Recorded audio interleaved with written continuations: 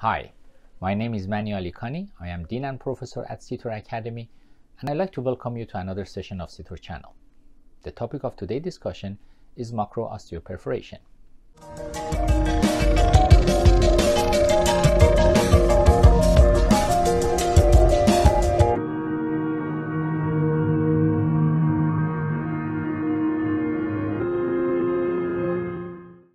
If you remember from previous sessions, we discussed that in response to orthodontic forces, transient inflammatory markers appear in the PDL, which recruits the precursor of the osteoclast, the bone resorbing cells, to the area, and follow up would be a bone resorption in direction of tooth movement, and that will cause the tooth movement to occur.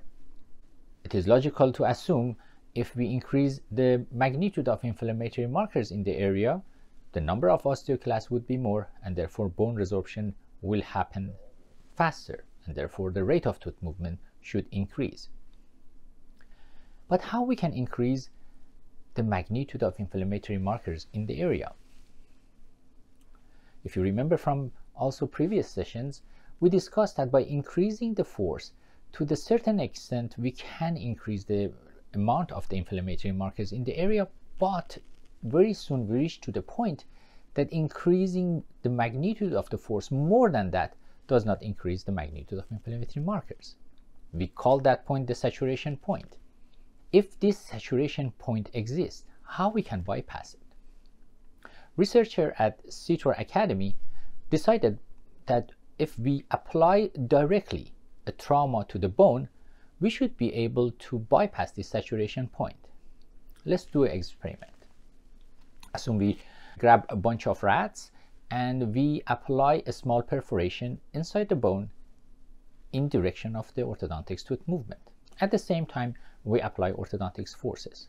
And we compared the rate of tooth movement with the animals that only receive orthodontics forces without perforation. Let's see what happened.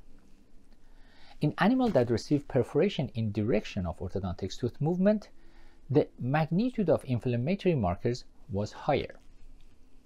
This was accompanied with increase in the number of osteoclasts in the area. Increase in the number of osteoclasts was accompanied with the decrease in bone density around the tooth that was the target of orthodontic forces.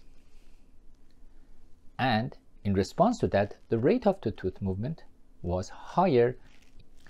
Well, this demonstrates that as long as we have inflammatory markers in the area, whether it's coming from the PDL or it's coming from the bone, we can recruit the osteoclast in the area and the bone density goes down and rate of tooth movement can increase. Does this animal study has any clinical application? Do we find a similar result in human?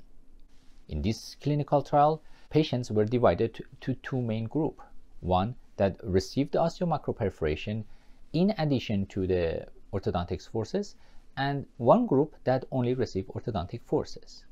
The first question was, does the application of osteomicroperforation increase the magnitude of inflammatory markers in the area similar to the animals? In response to this question, they noticed that the patients that receive osteomicroperforation, they had higher magnitude of the inflammatory markers in the area. Of course, here they cannot do the histologic section to measure the number of osteoclasts, but they can study the rate of tooth movement. Again, they notice in response to this small perforation inside the bone, magnitude of the tooth movement increased significantly.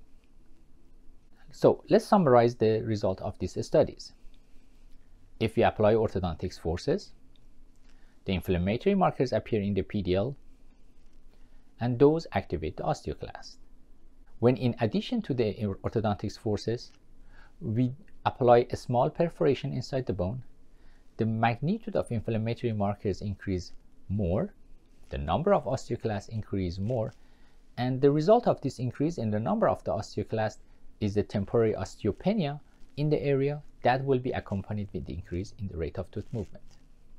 To learn more about this animal study and clinical trials, you can refer to the published articles that you can have access through link below. I hope you enjoyed this session of CTOR channel.